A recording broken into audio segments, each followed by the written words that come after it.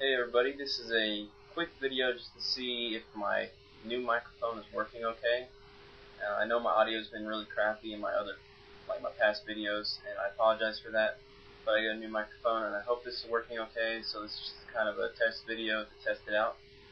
But while we're at it, I'm going to show you some uh, magazines and a couple other things I bought at uh, Goodwill for very cheap and my Goodwill does have a magazine section, so uh, I was fortunate enough to find some gaming magazines, and these were all a quarter a piece, so I'm very happy with that, and most of them are in very good condition, so I'm not to, you know, go through all of them, but I'll just show you the covers and everything. It's the Xbox magazine, uh, PSM magazine, another Xbox, Game Pro,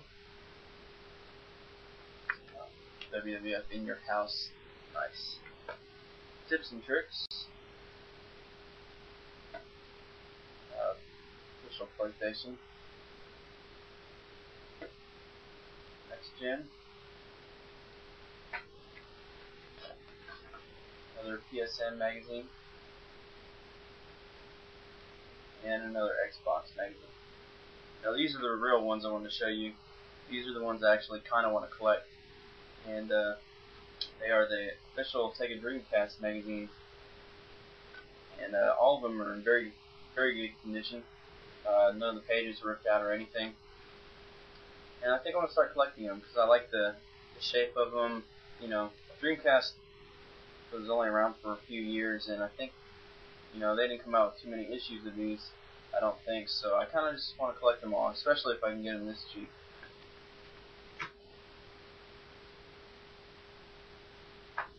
One has Phantasy Star Uni Phantasy Star Online featured on it.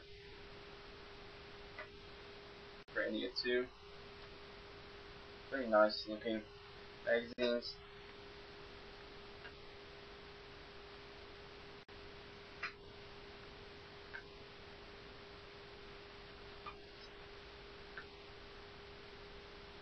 Jet Grind Radio.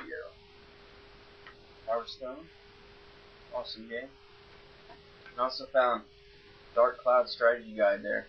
Um, I don't know why this is a greatest. I didn't know they came out with the greatest hit strategy guide. It's kind of weird, but whatever. Um, the strategy guide was only a quarter, and uh, I decided to pick it up because I am looking for a Black Label Dark Cloud right now, and um, if I ever find one, which I'm sure I will pretty soon, I will be using this with it, and um, you know, strategy guides alone usually go for like 10 bucks and up.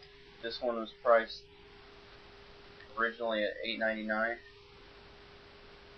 So, you know, can't do too wrong for a quarter. And um, that's just my test video. See how my mic is working.